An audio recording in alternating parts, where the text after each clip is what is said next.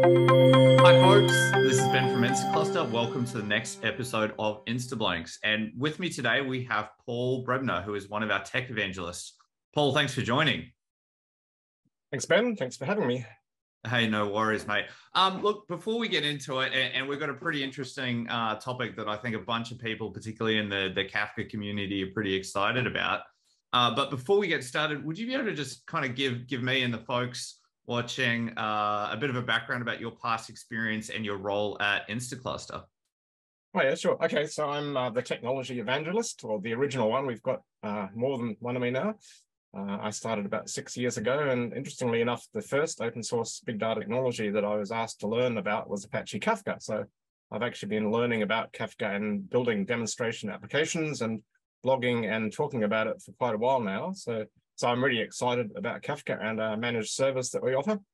Awesome, awesome. So I think you know the the topic of today um, kind of kind of touches on that, and you know, um, hmm. kind of scaling and, and running running running Kafka. So I've heard a little bit about a new feature in in Kafka, and you're going to have to help me out with some of the pronunciation here. Is is it K Raft? Is it Craft? Uh, how do you what what do you call it? I call it craft, but um, or actually no, maybe I do call it K Raft. Maybe I just switch. Uh, K Raft is probably the, the most obvious pronunciation, actually. Sure, and and so I guess would you be able to give us a bit of a background about um, what this feature is, why it got brought mm-hmm. in? Um, you know, I used to understand that in the world of Kafka, we have to run this mm-hmm. thing called Zookeeper. So, like, uh, kind of give me the background about uh, about K Raft and um, what's what's happening. Um, the Kafka controller is basically Kafka's brain. So it's the part of the Kafka cluster that manages the Kafka metadata. And there's only one active controller per cluster allowed. So and until recently, um, you're right, Kafka depended on the external service to manage the controller election and also store the metadata for the Kafka cluster, and that was called Zookeeper, which is another Apache project, which is actually quite a cool technology, but it is it's been around for a while now. And one of the problems is that um, the Kafka cluster talking to Zookeeper is actually quite slow, uh, and it, it also requires expertise and resources to run a Zookeeper cluster essentially. So it's a lot simpler if you only need Kafka for your Kafka cluster. So K-Raft is a Kafka replacement for Zookeeper basically. It implements a Kafka Raft consensus algorithm mm-hmm. um, to manage the controller election and also stores the metadata in the Kafka topics directly. So is is this like is this something I have to run separately, or is this now just part of Kafka and I'm I'm ready to go? Oh yes, it's basically baked into Kafka now, so you don't need to worry about having this external Zookeeper service at all now. Wow, so that sounds like a massive simplification in terms of you know operations and and, and management. Um, yep. What what are some of the other, I guess, key advantages that that mm. that KRaft is bringing? Well, it's an interesting question because I mean, people haven't really been running KRaft uh, Kafka in production yet, but um, so this is all a bit theoretical. But it's simpler to run mm. Kafka. You don't need the extra Zookeeper service anymore. You don't need anyone that actually knows about Zookeeper to be involved, mm-hmm. and you don't have to have all the infrastructure and complexity around, around running a separate service. Uh, in theory, mm-hmm. the metadata operations are going to be faster. For example, mm-hmm. things like partition creation is a metadata operation that'll be a lot quicker, and we've got some results. Um, share those in a minute, maybe. Mm-hmm. Uh, reassignment of partitions, which is something that happens if a server fails. You've got to reassign the uh, the leader partitions to another server. That's going to be faster as well. Um, so I guess also there's going to be the potential for clusters with a lot more partitions. Uh, partitions give you consumer concurrency and therefore higher throughput with your data in the cluster. Uh, mm. And it also should be more robust as well, hopefully, once the zookeeper dependency is removed. Yeah. Yeah. So it, it sounds like there is, um, you know, a ton of great operational advantages that is that is bringing, mm-hmm. either from a stability or, um, you know, scalability or simplicity. Eh, like, I, I guess, what will the end develop? Like, if I'm just an engineer and I'm using, you know, Kafka and you know I'm pushing messages in, consuming them um, how's this going to change my my day to day? Is it just it's going to work better, or what does that look like? Uh, yeah, it should work work better. Um, some things will be sped up as well. Okay. So there's certainly the advantage in terms of simplicity of operation that should bring costs down. Uh, that's a good thing. Um, yeah. The metadata operations will be faster. Um, I mean, eventually there just won't be any Zookeeper option anyway, so you'll you'll mm-hmm. just be stuck with the KRaft mode. Probably next year sometime, the Zookeeper will just be phased out. I guess the main advantage from a developer perspective is the ability to have more partitions. But then there's the question of well, um, why would you want more partitions, and is that necessarily a good thing? Mm-hmm. Um, partitions will actually need a bigger cluster because partitions actually do consume Kafka resources in general. Mm-hmm. Um, but there are lots of use cases around having more partitions from a developer's developer perspective, including okay. things like just massive throughput. So you can have clusters yeah. with more throughput. If you've yeah. got a data model that requires lots of topics, which also requires lots of partitions, that's a that's a potential use case.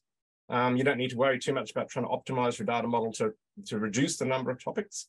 Uh, mm-hmm. And then mm-hmm. also there's the issue of slow consumers. So that uh, Kafka consumers by default are single threaded. So you have to have more consumers if you want more throughput. And if you've got slow consumers, you just need more consumers at that point, which requires more partitions. Um, right. So that's that is an issue. If you've got consumers that are talking to a database, for example, that's going to take mm-hmm. tens of milliseconds, and that'll slow your consumer down. And mm-hmm. you'll just need lot more consumers and a lot more partitions as well. There is a new um, Kafka consumer available called the Parallel Kafka Consumer, which actually yeah. multi-threaded, which also can help with that as well. But that's sort of a, a that's complementary to KRaft yeah. as well, potentially. Yeah. It, I mean, that's really cool because like I love these kind of optimizations where initially it's mm. either, you know, performance or stability based. Mm-hmm. Um, but the fact that it unlocks more of the potential actually unlocks a bunch of downstream use cases, such as increasing the number of, you know, topics, right? You know, that's definitely something that, you know, developers, you know, kind of bash their heads against, um, you know, if they're not aware of, you know, some of the ramifications with that. Um, you know, so so speaking of that, like you know, performance, how does it compare to Zookeeper? Right, you've yeah. I think you've hinted a little bit, but it'd be great to understand how what yeah. the performance so these like. are um these are provisional experiments that that we sure. did last year in preparation for ApacheCon conference in the US. So this was done um, sort of with clusters that we'd sort of set up just to do testing on, not with our managed service version yet. Um, so however, we did find that partition creation is in fact a lot faster with KRaft.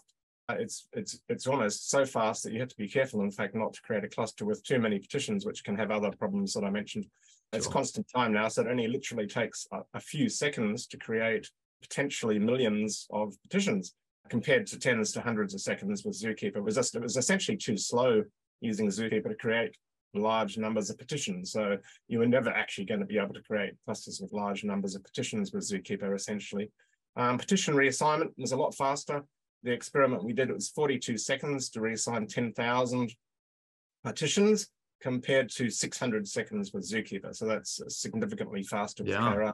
And in terms of the, um, did we actually manage to create a cluster with very large numbers of partitions? Well, yes, we did 600,000 partitions um, was where wow. we reached just with a single node. So this was a bit of an artificial experiment that we did. Sure. Uh, that that extrapolates to close to two million partitions on a on a production three node Kafka cluster, which is a lot of partitions. So yeah, it does. Yeah, it does work as advertised.